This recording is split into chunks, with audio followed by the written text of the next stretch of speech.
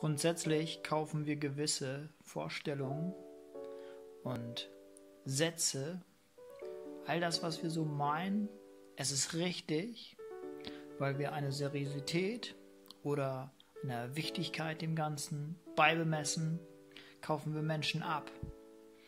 Und da ist ganz, ganz entscheidend wichtig, um zu verstehen, ist das überhaupt etwas, was man grundsätzlich für sich hin und her schleppen sollte?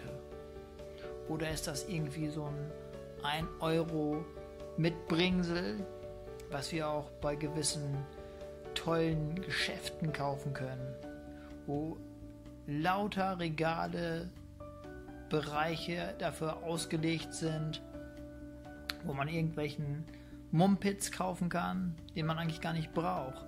Aber die Leute, die gehen da in Scharen hin und hinterfragen gar nicht, muss ich das, was da jetzt gerade liegt, muss ich das eigentlich mitnehmen? Und genauso ist das mit Gedanken, mit Einflüssen, Eindrücken, all das, was dir gewisse Menschen, die über den Weg laufen oder wenn du einen Fernseher von mir auch aus anmachst oder guckst Social Media Bereiche, da musst du dir wirklich die gesamte Rede, all das, was da zum Ausdruck gebracht wird, die musst du dir vor Augen führen.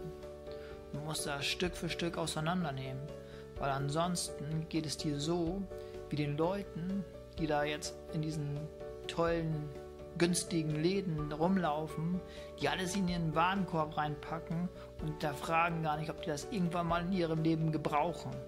Weil darauf kommt es nämlich an.